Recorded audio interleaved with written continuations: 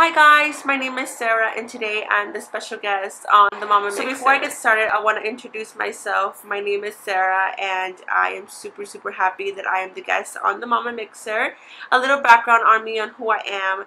I am Sarah and I have two YouTube channels.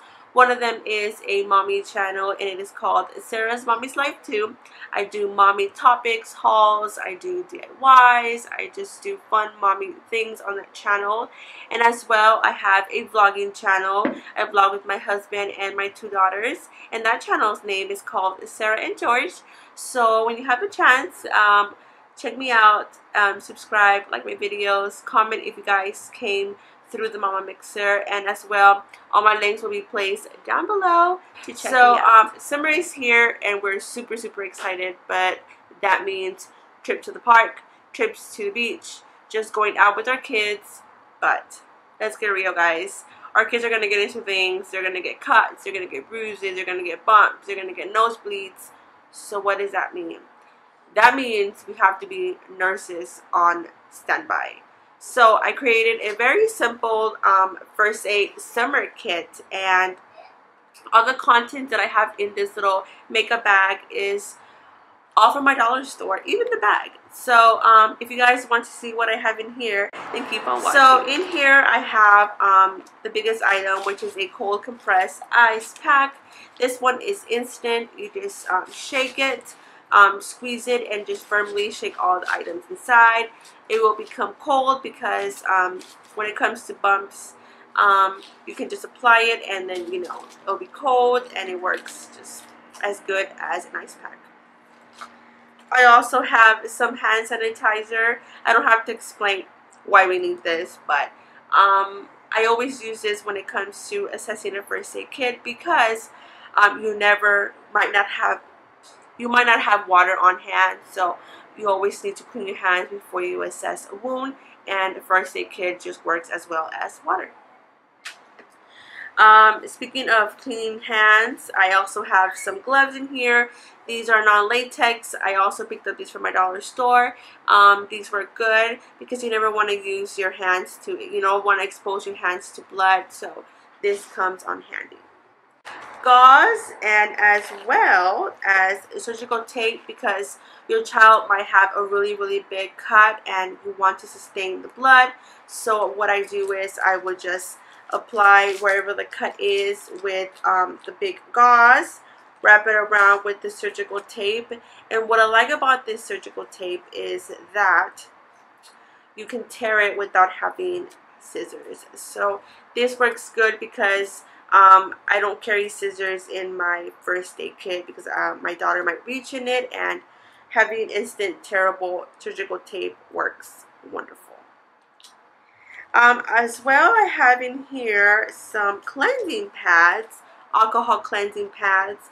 Um, I never apply alcohol on a wound, but I always um, clean the area where there's like a lot of blood. So I use this to clean around the area, but never ever inside the wound because um, you don't want your child screaming bloody murder um, because they have been exposed to alcohol in the cut. And um, just a little FYI, if your child ever, ever, ever has like dirt inside the wound, um, simply water or saline solution is going to work um, because alcohol is going to cause burning. Um, I remember um, when I was a kid, um, a nurse, a nurse in school applied alcohol in my wound, and I was screaming crazy. And when I went to nursing school, I even asked, you know, what do we apply inside a wound? And they said water or saline solution. But I, I even said not alcohol, and they looked like me if I was crazy. But that's what I knew. It was alcohol, and that's a no-no. So.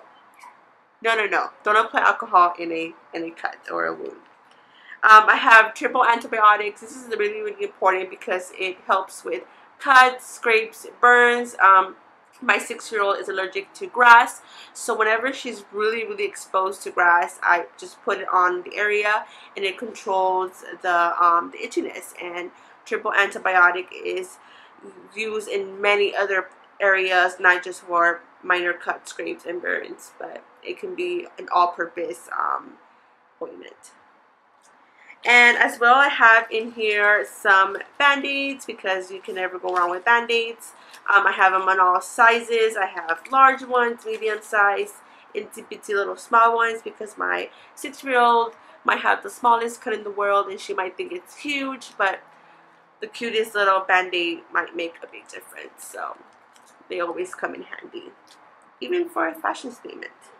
And the last thing I have in here is this little band-aid, um, switchable um, band-aid. And this one I always have in hand because you never know when your child might get a sprained ankle or you know they might sprain their foot or sometimes let's pray not a broken arm and um, um, if you guys ever have taken first aid you can you always learn how to use this little item in multiple ways and you can use it as a sling support um, a wrap and it works even for head wraps and it works wonderful so this little item comes in handy, handy and it's just uh, all-purpose little little thing. So it works good.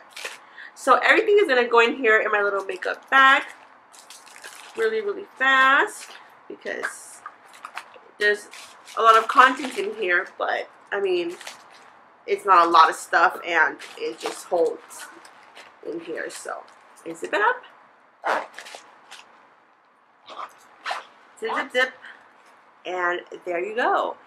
All the stuff that I just showed you is in here. Very affordable. One dollar even the bag so yeah guys I hope you guys enjoyed this DIY um, I'm so ready for summer not ready for those cuts and bumps and bruises but I want to be ready for my six-year-old so um, if you guys did enjoy this video, give it a thumbs up, subscribe to the Mama Mixer, also check me out on my channels, and hopefully I will see you guys in a video here on the Mama Mixer. Bye guys!